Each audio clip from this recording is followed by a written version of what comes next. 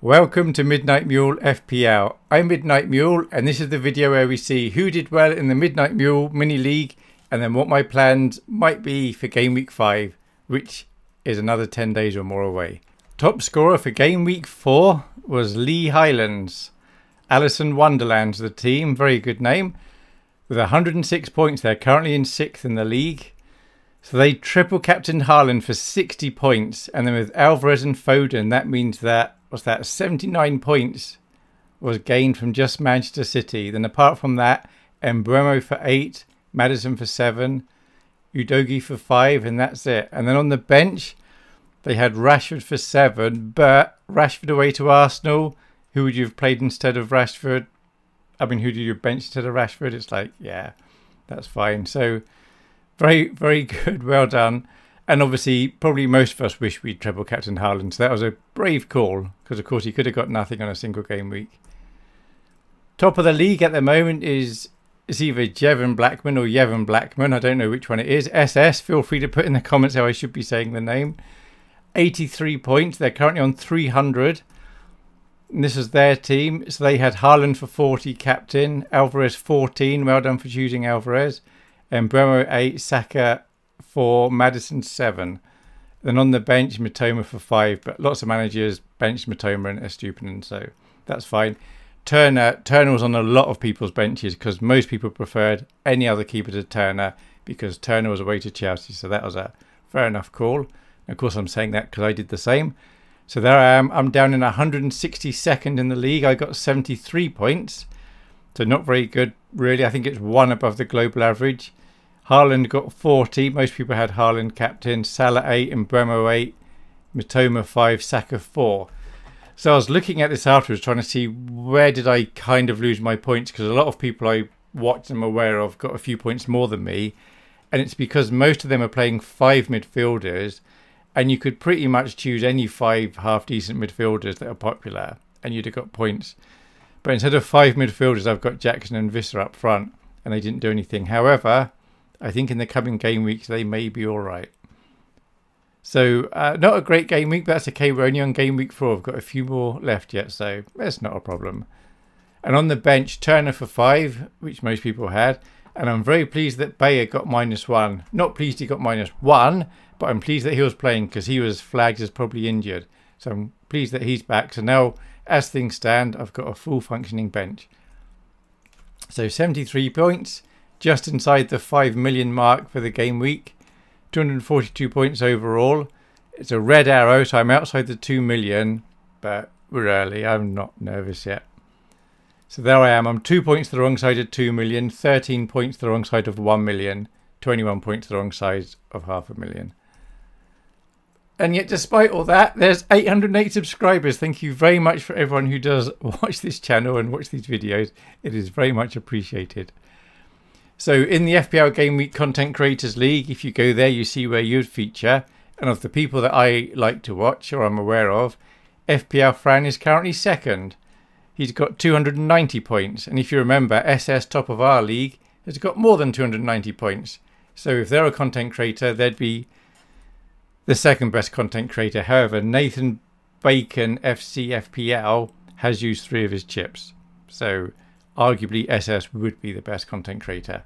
There's FPL Fran, very, very good to listen to. If I could only listen to one FPLer, it would probably be him. And then James Planet FPL, he's uh, down in sixth. He's used one of his chips already, but he's fun to listen to. He's very candid. I quite like listening to him. As for me, I'm all the way down in 56th on 242 points, which is two points behind Nima, who does a lot to do with the FPL meet. There's one in Manchester in a couple of weeks' time, which I may go to if I possibly can. But I am, what, one point ahead? No, more than one point. I'm seven points ahead of Az, which is nice. But it's so early, there's a lot of shuffling going to happen yet anyway. Now, my transfer options for my team, I've actually got two free transfers. So, option number one, which is what I'm considering at the moment, is just do nothing which actually means I'll be burning a transfer. But I'm comfortable in playing my first 11 this coming game week anyway. So we have the international break. So there may be some injuries or news coming out. Possibly Salah would go to Saudi Arabia before the next game week, in which case I'm going to have to sell him. But at the moment, I'm currently thinking I won't actually do anything. So that means my team would line up as follows. I'd have Haaland would wear the old mule hat. Now he's away to West Ham, whereas my vice captain Salah is away to Wolves. And I think the difference between Liverpool and Wolves is bigger than the difference between Man City and West Ham. So I think there's a reasonable chance that Salah could outscore Haaland. However, most teams are going to be captaining Haaland, so I can't afford to not captain Haaland.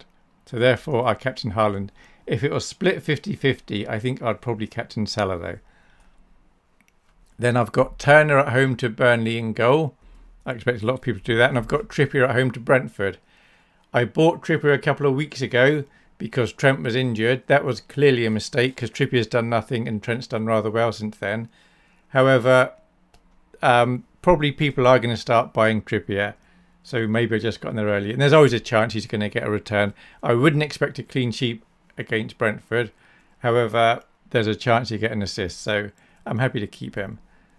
And then playing against him is Mbeumo and Wissa. Reasonably optimistic that they're going to get a goal or assist because Newcastle's defence really hasn't been very good this season. And then we've got Chilwell away to Bournemouth with his mate Jackson. They could get something. Saka away to Everton, quite a good chance to get something. And then Estupiñán and Mitoma away to Man United.